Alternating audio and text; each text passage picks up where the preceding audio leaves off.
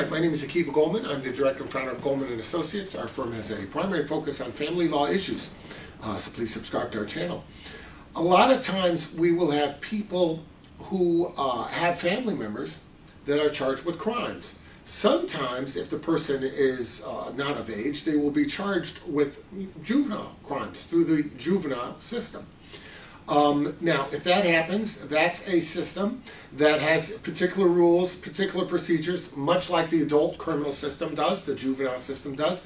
So you're going to need to reach out to a lawyer immediately to help you uh, uh, get representation and navigate that system. Don't think for a minute that if your kid is charged with uh, some juvenile offense that that's no big deal. You don't have to worry about that. That, oh, nothing will really happen, it'll be a slap on the wrist. Not necessarily. A lot of juvenile crimes start out that way, but then the prosecutor determines that the person should be tried as an adult.